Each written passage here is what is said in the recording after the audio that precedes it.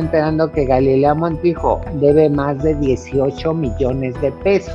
Mira, mejor ya, ya me quedo callada, porque si hablo es de, no, ya defendieron de este lado, no. Yo hablé mal de Galilea, evidentemente dije algo que ni quise decir, ni... Pero yo lo único que puedo decir es que lo que se tiene que hacer, enfrentar a la justicia, ¿no? De nueva cuenta dentro de Televisa, se acaba de desatar un fuerte escándalo debido a que recientemente se dijo que la reconocida actriz y polémica presentadora Galilea Montijo está con varios contratiempos fiscales.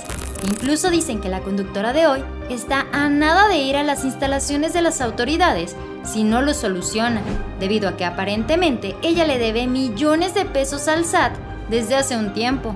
Estoy enterando que Galilea Montijo está igual en la misma situación que la Gómez Mont. Desde hace varios meses, Galilea Montijo se encuentra en el centro del escándalo y se encuentra dando muchísimo de qué hablar, debido a que además de que presuntamente está a nada de dejar el matutino de la empresa de San Ángel para salirse de México, hace un par de días anunció que ella se había divorciado de Fernando Reina, Además, han salido un sinfín de rumores a su alrededor. Pero que Galilea debe más de 18 millones de pesos.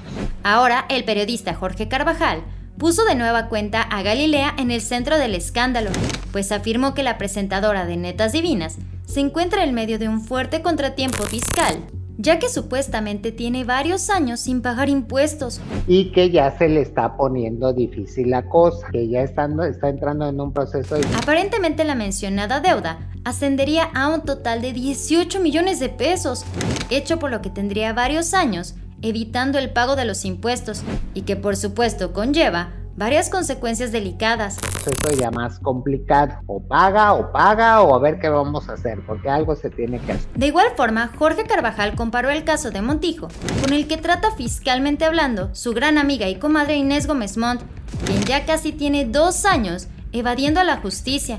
Y es que se dice que ella, junto a su marido, deben alrededor de 14 millones de pesos al SAT. Pues no sé si de ahí pudiera venir el tema de que esté tratando de hacer migas.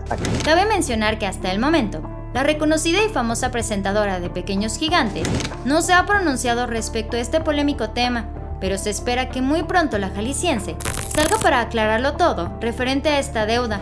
O, o por lo menos le den tiempo para pagar, no lo sé. Hace unos días y a través de redes sociales, Galilea Montijo anunció el fin de su matrimonio de poco más de 11 años con el político Fernando Reina. Montijo explicó que a diferencia de su compañera Andrea Legarreta, su separación era definitiva y que incluso ellos ya habían concluido con los procesos legales para finiquitar su matrimonio civil. Asimismo, detalló que no daría más explicaciones al respecto por el bienestar de su hijo.